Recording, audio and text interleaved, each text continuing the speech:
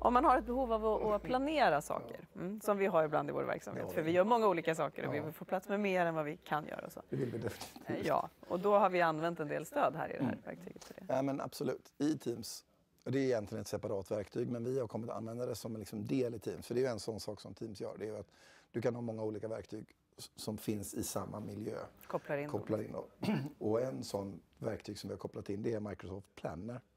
Som är ett verktyg som är precis vad det låter som. Det är ett planeringsverktyg för ett team att jobba tillsammans, eller det är ett projekt eller så.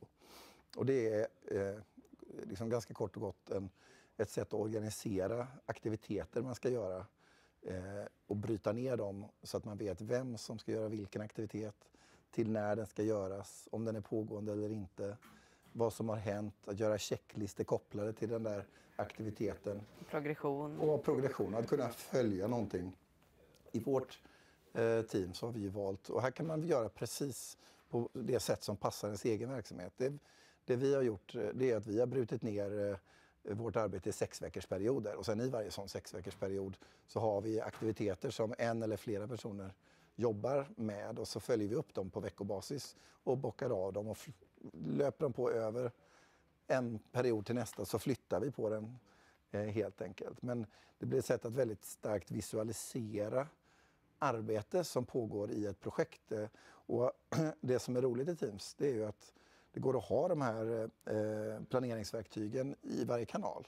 Så det går att liksom, eh, jobba i dialog och diskussion och chatt och grejer men det går också att kunna så att säga, lyfta upp det och följa strukturen och se liksom, var är vi någonstans, vart är vi på väg. Mm. Och alla som har jobbat i tidigare sådana verktyg som känner igen sig i elektroniska anslagstavlor där man flyttar kort och sådär, då är ju Planner ganska likt. Ja, det är väldigt likt. Och, men just i det här fallet, eftersom vi använder Teams, så är fördelen att det är integrerat Ja. i Teams. Så du behöver inte gå någon annanstans, utan du har din arbetsprocess och dina arbetsflöden på samma ställe.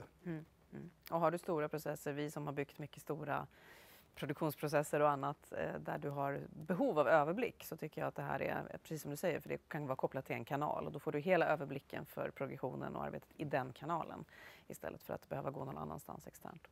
Ja, men verkligen. Och det går också att använda det på liksom mer övergripande nivå. Att man till exempel sätter ut sina långsiktiga mål och bryter ner dem i liksom kortare, mera operativa mål och sen aktiviteter på det och följer upp på årsbasis. Eller man kanske har ett en planeringsverktyg där man gör någonting bara över liksom en vecka.